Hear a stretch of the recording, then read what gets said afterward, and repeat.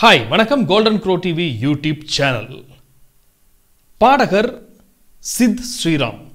திரைப்பட பின்னணி பாடகர் சித் ஸ்ரீராம் அவர்களை சில தினங்களாக நெட்டிசன்கள் வச்சு செஞ்சிட்டு இருக்கிறாங்களே அதுக்கு என்ன காரணம்? அது ஒரு நியாயமான காரணமாக அவர் மேலே நிறையா மீம்ஸ் கிரியேட் பண்ணுறது ட்ரோல் பண்ணி நிறையா நகைச்சுவையாக என்ன காரணம்னா ஒரு கலை விழாவில் ஒரு அழகான ஒரு அரங்கம் அவருக்கு பக்கவாத்தியமாக ஒரு மிருதங்கம் கடம் ஒரு வயலின். ஒரு அதை பார்த்தாலே ஒரு பியூர் கிளாசிக்கல் நிகழ்ச்சி நடக்கக்கூடிய ஒரு ஸ்டேஜ் அந்த ஸ்டேஜில் அவர் பழம்பெரும் திரைப்படம் ஒரு காவியமான திரைப்படம் நடிகர் திரகம் அவர்கள் நடித்த கர்ணன் திரைப்படத்தில் வர்ற வெண்கலக்குரலோன் சீர்காழியார் பாடிய உள்ளத்தில் நல்ல உள்ளம் உறங்காது என்பது பாடலை அந்த மேடையில் அவர் பாடுறார். அழகாக பாடுறார். இதில் என்ன தப்பு? இதுக்கு ஏன் நெட்டிசன்கள் அவரை வச்சு செய்யணும்? இளைஞர் இளைஞிகளின் கனவு நாயகன் சொல்லலாம். சித்து ஸ்ரீராம் அப்படின்னு பேரை கேட்டாலே சும்மா அரங்கெல்லாம் அதிருது.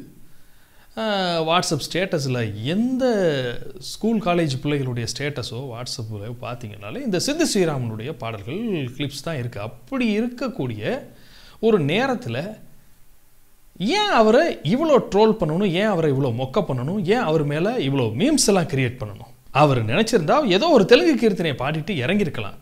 அவர் செஞ்ச மிகப்பெரிய ஒரு நல்ல விஷயம் இந்த அற்புதமான காவிய திரைப்படமான கர்ணனில் சக்கரவாகம்ன்ற ஒரு அழகான அற்புதமான ராகத்தில் அமைந்த உள்ளத்தில் நல்ல உள்ளம்ன்ற ஒரு அற்புதமான பாடலை லயிச்சு அப்படியே பாடுறாரு அந்த மேடையில்.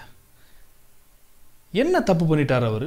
அந்த ராகத்தை விட்டு ஏதாவது சம்மந்தம் இல்லாமல் நாலு உரிமை மேலும் ரெண்டு நையாண்டி மேலும் நாதஸ்வரத்தை வச்சுட்டு உள்ளத்தில் நல்ல உள்ளம் உறங்காதுன்னு அப்படியே தான் அடித்தாரா இல்லை ஊரோரம் புளிய மரம் டியூனில் உள்ளத்தில் நல்ல உள்ளம் உறங்காது அந்த மாதிரி ஏதாவது அடித்தாரா போட்டாரா? வந்தாரா? இல்லை வந்து ஏதாவது ஒரு பப்பு டான்ஸ் ஆடிட்டு பாரில் தண்ணியை போட்டுட்டு ஆடிட்டு இருக்கக்கூடிய யங்ஸ்டர்ஸ்கிட்ட ஒரு டிஜே எக்யூப்மெண்ட்ஸோட கரோக்கியை போட்டுட்டு உள்ளத்தில் நல்ல உள்ளத்தை இவர் பாட அங்கெல்லாம் குடிச்சிட்டு ஆடினாங்களா? ஒன்றுமே கிடையாதுங்க.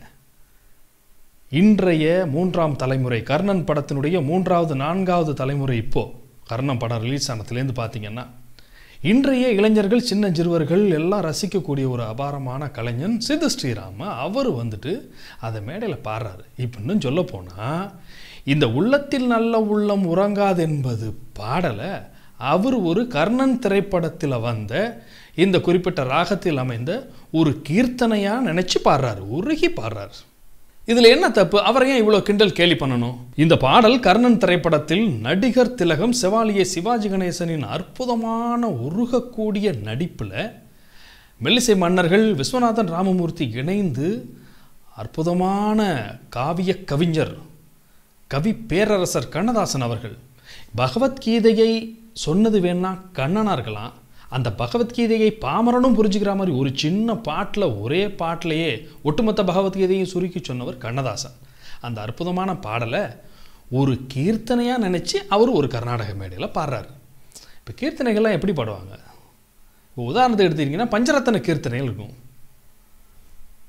அந்த பஞ்சரத்ன கீர்த்தனையை பார்த்தீங்கன்னா இந்த உள்ளத்தில் நல்ல உள்ள பாட்டினுடைய வரிகள் தான் இருக்கும். ஆனால் அந்த பஞ்சரத்தன கீர்த்தனையை மணிக்கணக்காக பாடுவாங்க. திரும்ப திரும்ப இம்ப்ரவைஸ் பண்ணி என்னென்னமோ செஞ்சு ராக ஆலாபனைலாம் செஞ்சு ஸ்வர சஞ்சாரங்கள்லாம் செஞ்சு திரும்ப திரும்ப திரும்ப அந்த சில வரிகள் தான் வரும்.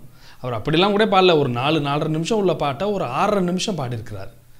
அதனால சித்து ஸ்ரீராம் அவர்களை இந்த உள்ளத்தில் நல்ல உள்ளம் பாடல் பாடினதுக்காக நாமெல்லாம் பாராட்டணும். ஆனால் அப்படி செய்யாமல் அவரை போட்டு படுத்தி எடுக்கிறோம். இது இந்த நிலை தொடருமேயானால் இந்த க நல்ல ஒரு அங்கீகாரம் பெற்ற கர்நாடக இசை பாடல்கள் நல்ல ஒரு பெரிய பேரும் புகழோடு உள்ள அந்த திரைப்பட பின்னணி பாடல்கள் இது போன்ற பாடல்கள்லாம் இனிமேல் மேடையில் தொடரத்துக்கே யோசிப்பாங்க. ஐயா நம்ம பாட போக இவனுங்க வச்சு செஞ்சிட்ருக்கிறானுங்களே அப்படின்னு சொல்லிட்டு. அதனால் அவர் வந்து ஒன்றும் தவறாக செய்யலை. உதாரணத்துக்கு பார்த்தீங்கன்னா கந்தசஷ்டி கவசத்தில் இசைப்பு தேவா அவர்கள் ஒரு பாட்டு போட்டிருக்கிறார். அதை நம்ம ஏதாவது அவர் அப்போ அப்போ எல்லாம் திட்டினோமா? பதினெட்டு வயது இளமொட்டு ட அப்படி ஒரு விரகதாபமான ஒரு பாடலை கந்த சஷ்டி கவசம் டியூனில் போட்டார். இது மாதிரி நிறையா உதாரணம் சொல்லலாம். ஆனால் சித்து ஸ்ரீராம் அதெல்லாம் செய்யலை. ஒரு திரைப்பட பாடலை அந்த சக்கரவாகம் ராகத்தில் அமைந்த ஒரு கீர்த்தனையாக நினச்சி அந்த பாடலை உருகி அந்த மேடையில் பாடினார். அதனால் அவரை கேலி செய்வதோ கிண்டல் செய்வதோ ட்ரோல் பண்ணுறதோ மீம் செய்வதோ அந்த பாடலையும் செவாலியை சிவகஜி கணேசன் அவர்களையும் மெல்லிசை மன்னர்களையும் கவிப்பேரரசர் கண்ணதாசனையும் அதை பாடிய சீர்காழியாரையும் நாம் அவமானப்படுத்துகிற மாதிரி. அதனால் சித்த ஸ்ரீராம் அவர்களை பாராட்டணும். இது போன்ற பாடல்களை இன்றைய இளைஞர்களும் இது என்ன பாட்டுன்னு அவங்க கேட்குற அளவுக்கு அது ஒரு முயற்சி பண்ணதுக்கு நம்ம பாராட்டணும்.